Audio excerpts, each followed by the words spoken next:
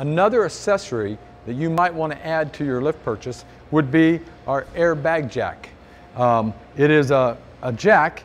This is how it would come to you. This is the packing that you'd receive it like. So what we're going to do is we're just going to show you what it, what it looks like, how it would operate. The thing you're going to really like about this jack is it's pretty obvious right now. Look how low it sets. It's just over four inches tall when it's all the way deflated. And so the thing that's nice is if you've got a bottle jack, you stand a bottle jack up, they're usually 10 or 11 inches tall. You try and put a bottle jack under a Corvette when it's on this jack tray or on this runway, it's too tall. It's not going to work. This is only four, just a little over four inches tall. So it will slide right underneath of a Corvette. If you're behind the front tire, you have the puck, this will slide right under there to be able to lift that up at that point. Now the nice thing about this jack is it's 4,000 pound capacity. It's got seven inches of raise. We have, there are three different valves that we're going to talk about. The first one is the valve that's going to let the air in.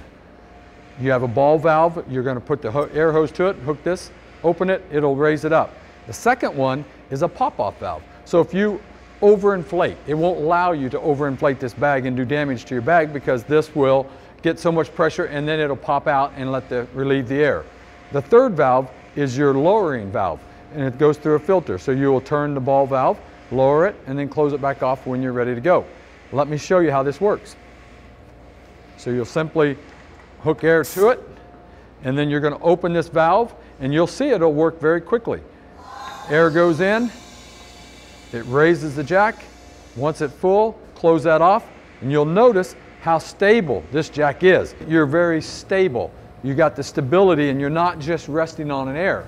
This jack is not designed to go halfway up because at that time the, the, the, the, stacked cups are not fully extended and locked. And so you will get a little wiggle. And that's what people don't like. So when you use this jack, it's all the way down, it's all the way up.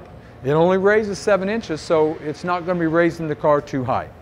Now to lower it, you just open up this valve here. That lets the air come out through a filter, and you will see the jack will deflate and go back down. So see if I'm halfway, see how now the jack is not locked in, it's not rigid. So that's why this jack is designed to be used all the way up and then you can shut the ball valve, you can take off the air hose and it's solid. Now the nice thing about this jack is very versatile. I can use it on the runway. I can use this on the floor if I'm using a, a, car that I need to get off the ground on the floor. Or I can put this right inside of my jack tray that comes with our package on our lift. And now I have a, a cross member. I've got a 72 Corvette. I like to pick up at the cross member.